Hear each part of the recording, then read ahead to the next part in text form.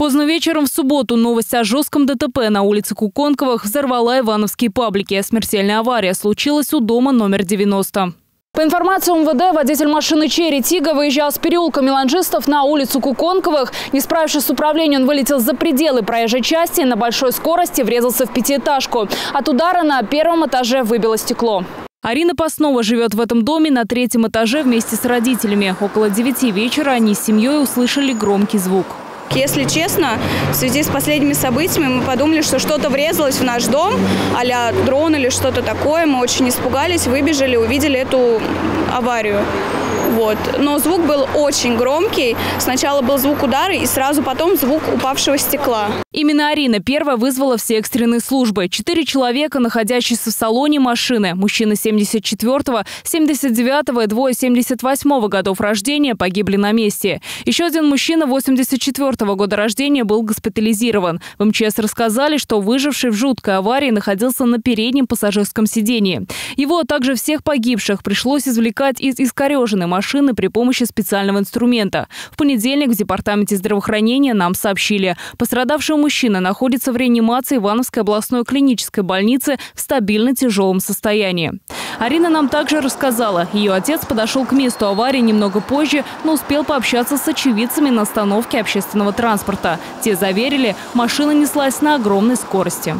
Людей было достаточно много, кто-то возвращался после работы, на остановке ждал транспорт и прочее. Вот, и он узнал то, что скорость была очень большая, они ехали по частнику, вот, и, видимо, они заметили вот этот островок безопасности и подскочили как на трамплине на нем, поэтому не смогли вовремя остановиться. Около остановки остались следы от колес машины. От них до скамейки, где находились люди, около метра.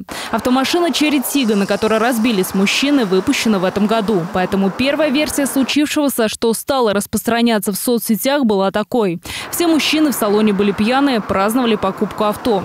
Есть и версия о том, что водителю резко стало плохо. Другой комментатор уверяет, знал погибшего водителя, машина действительно новая. Дословно, ее владелец хотел показать друзьям, как работает автопилот на китайском автопроме. Машина стала полностью неуправляема. Не хочу ругать китайские машины, но, видимо, стечение обстоятельств.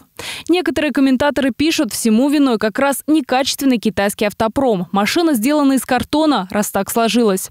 Эксперт-техник Александр Касьяненко утверждает, при определении причины ДТП всегда учитывается несколько факторов. Погода, покрытие, скорость, в том числе и состояние транспортного средства. Мы знаем, что э, современные новые автомобили, которые выпускаются, особенно последнего поколения, последние нескольких лет, они проходят э, определенные э, тесты европейские, да, NCAP так называемые.